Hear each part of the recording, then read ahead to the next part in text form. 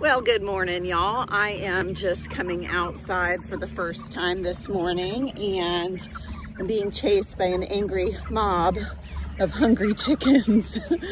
they will chase you down.